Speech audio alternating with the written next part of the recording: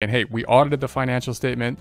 We have a degree of risk that we didn't catch the material a material misstatement, but we're giving some degree of assurance that the audit would then have picked up a material error. And therefore, there's a higher degree of assurance for the users of the financial statement to depend on the numbers that actually have been provided, and therefore a higher likelihood that business will be conducted, transactions will happen due to a higher degree of trust. So given that, let's go through this definition one more time.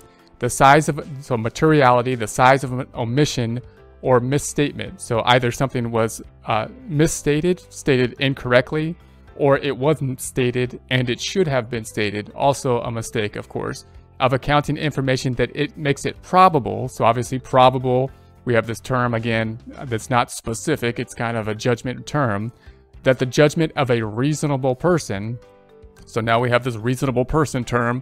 So we're taking common sense, logic kind of uh, concept into play. Relying on the information, so they're going to be relying on the financial statements, would have been changed or influenced by the omission. So we're imagining they're relying on the information for something such as investment.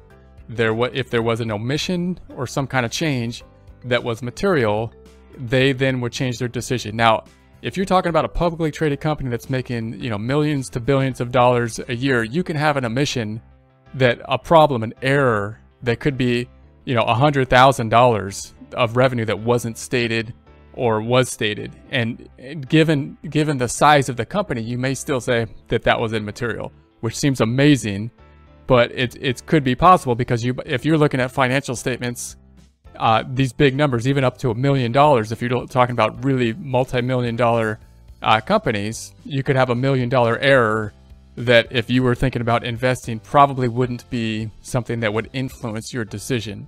So when we start to think about these big numbers, just realize that you could talk about big dollar terms that could be immaterial because we're looking at relationships with with the other numbers being being involved and what we would think in terms of an investment decision with regards to large, very large numbers could result in an omission that's quite large that uh, would still not influence a reasonable per person's decision-making process. So we'll get into more ideas in later on in terms of when